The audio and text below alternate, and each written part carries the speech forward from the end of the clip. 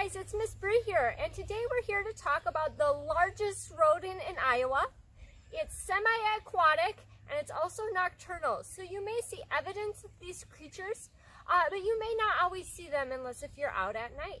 So we are going to be talking about the beaver. Like I said, it's a semi-aquatic rodent, which means it spends the majority of its time in water, um, and it also likes to dam up moving waterways and make their dens. We're going to talk about two specific adaptations. We're going to be talking about their tail and their teeth. So we're going to start off talking about their tail. So their tails are wide and flat, but they serve a couple purposes for the beaver.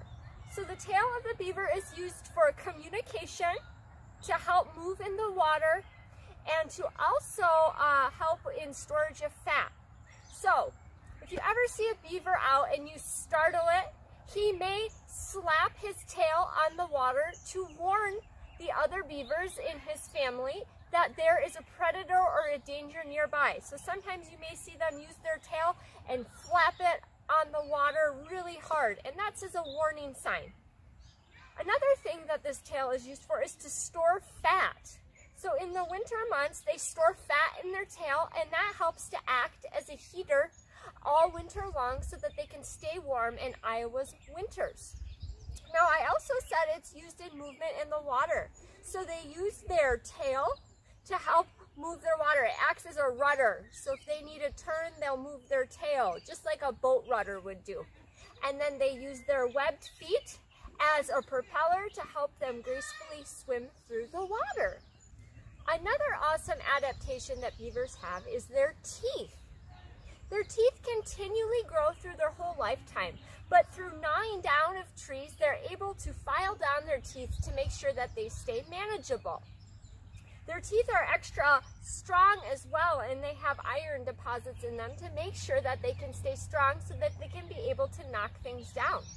So these trees right here that you see were actually cut down by a beaver.